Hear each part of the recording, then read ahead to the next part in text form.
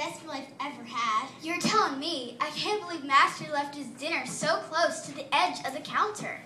It can't. It can't even be counted, counted as our fault. You're right. It's totally in our nature. What are we supposed to do? Nap preciously on the couch? Not a chance. You think there's any way he won't notice? Won't notice an entire chicken missing off the kitchen counter? Are you crazy?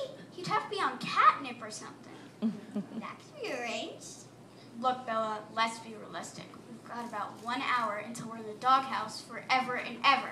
With no bones? No bones, no toys, no belly rubs. Oh no, belly rubs! Yeah, I know. So what are we gonna do? Well, maybe if we throw it back up right now.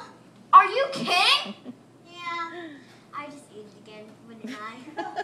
Bella, give a whole new meaning to The the cat!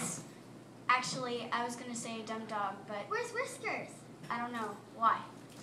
We can make it look like Whiskers ate the chicken. If he was on the counter when Master comes home. So how are we gonna get him up there? Bella, trust me on this one.